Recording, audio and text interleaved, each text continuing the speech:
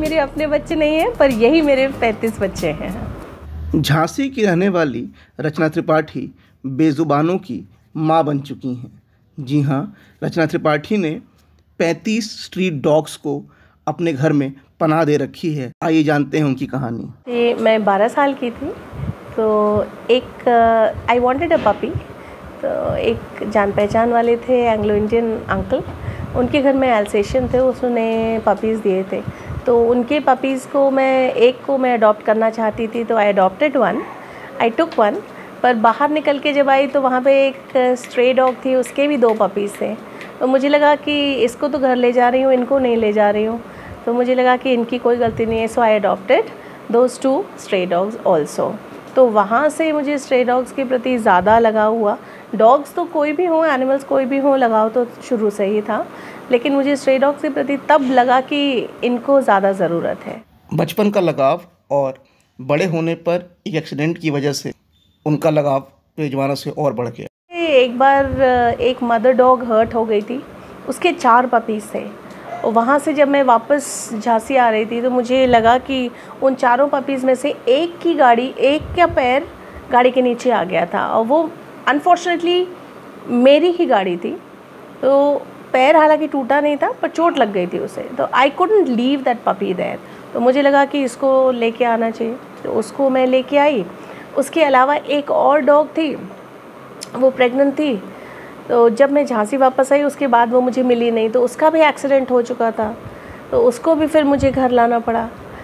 रचना की इस मुहिम में उनका परिवार भी पूरा साथ देता है और सबने काम और ज़िम्मेदारी बांट ली।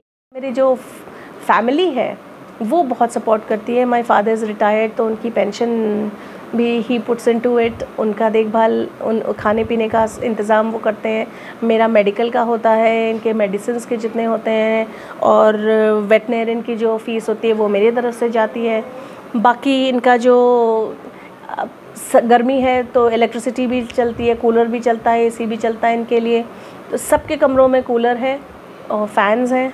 तो वो वो जो एक्सपेंसेस हैं और गर्मियों के और सर्दियों के गद्दे रज़ाई उसके एक्सपेंसेस मेरे ब्रदर हैं वो बेयर करते हैं। अच्छा मैम जो आपको आपके फादर से जेनेटिकली मिला केयरिंग नेचर इतना अच्छा क्या आपके बच्चों में भी ये नेचर गया है क्या?